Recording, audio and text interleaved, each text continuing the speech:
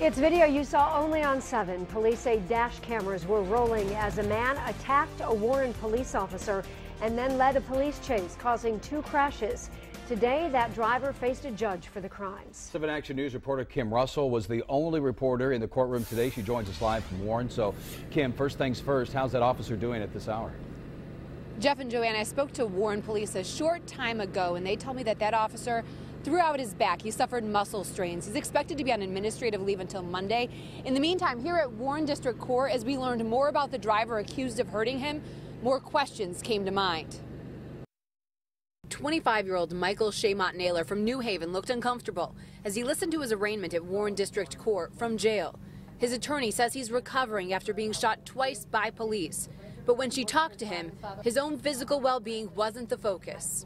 He's asking questions. How was this officer? What has happened? He is very remorseful for all things that happened that day, and he wants to really move forward and put this behind him. Mott Naylor got into this mess after a police officer says he saw him running a stop sign, realized he had a suspended license, and moved to arrest him.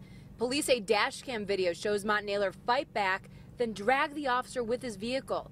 He's accused of then leading a police chase that caused two crashes until police say they shot at him as he sped towards a police car. His attorney says she hopes he isn't judged on just those actions. And he's a college graduate. He graduated from a university in Florida. He graduated New Haven with a 3.4 GPA. He's 25 years old. He's a working young man. So why would someone with such potential have such poor judgment? Police say he had a felony drug warrant out of Florida, drugs in the car, and a suspended license. The prosecutor asked the judge to give him a high bond quite frankly, Your Honor, uh, the officer was lucky he was not seriously injured in this. He was able to stay on his feet and to go underneath the vehicle. Uh, Mr. Mott Naylor put numerous people in jeopardy by fleeing the scene. And I, I think, quite frankly, he is a flight risk.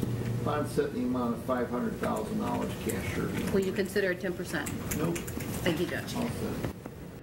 You heard the judge. If Mott Naylor wants out of jail, he has to post half a million dollars bond. It's unlikely he'll be able to do that. In the meantime, he faces numerous charges assault with a dangerous weapon, fleeing police, assaulting police, driving with a suspended license. He's going to face some legal troubles in his future. Reporting live in Warren, Kim Russell, 7 Action News. Yeah, to say the least, Kim. Thank you.